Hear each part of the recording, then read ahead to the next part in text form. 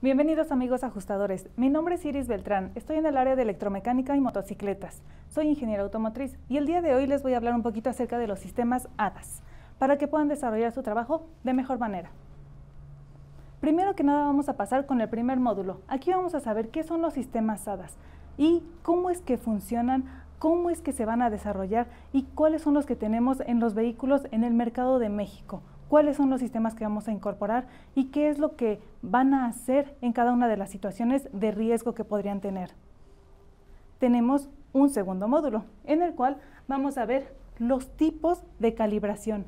¿Qué queremos decir? A veces estos vehículos requieren una calibración, ya sea porque el sistema no funciona de manera correcta, porque tuvimos algún problema o porque tuvimos un siniestro. Entonces, ¿cuáles son las condiciones que se requieren para que estos sistemas necesiten una calibración? qué tipos de calibraciones existen y también saber qué es lo que necesitamos realizar para que esto sea de una manera adecuada.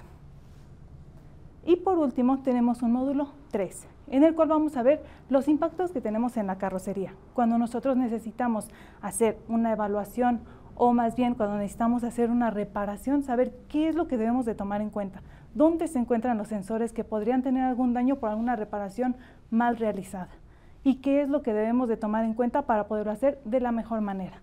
Entonces chicos, no se vayan y síganos en esta transmisión. Bienvenidos.